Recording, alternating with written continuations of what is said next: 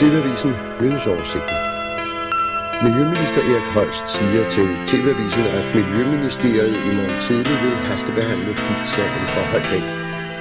Asfaltfabrikken Fotako nedgravede gennem 60'erne mere end 1000 tons giftig kemisk. Når TV-avisen er nær, tænder byen sit blålige skær.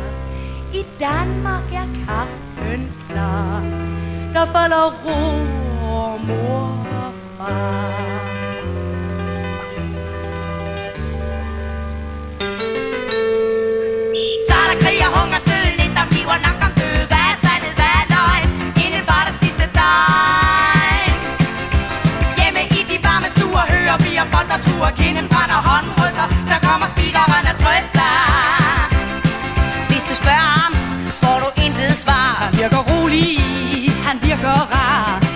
Kommer bæret og et billede af en ko. Nationen hælder kaffe op og falder i til ro.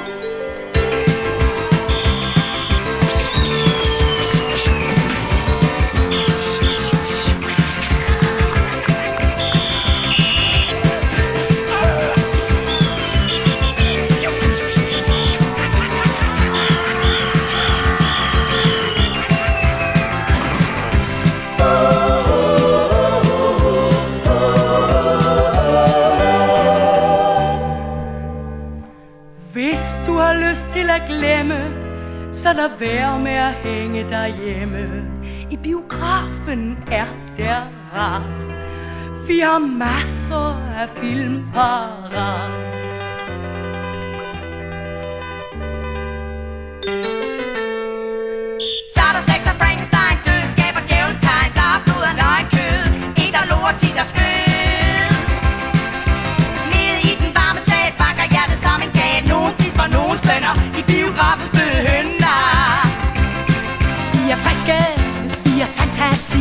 Bliver rige på angst for krig. Nu er du mere bange, end du ellers var. I biffen tælles penge op, og filmen gøres klar.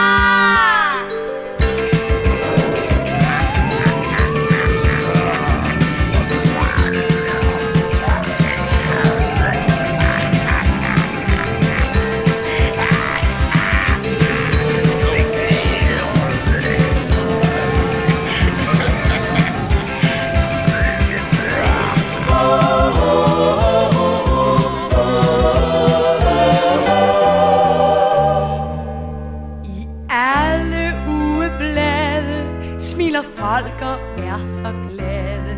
Direktørerne, de er rare. Her er fred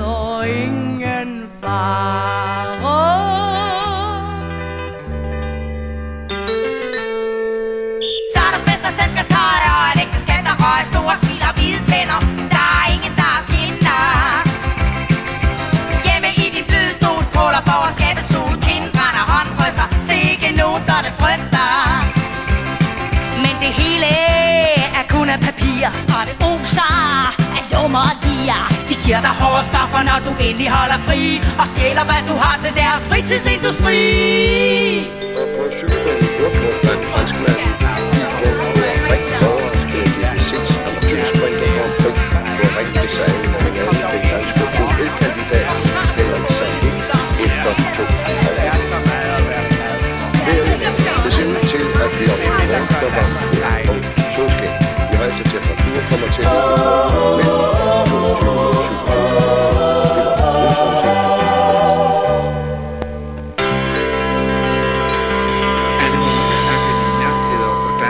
line flow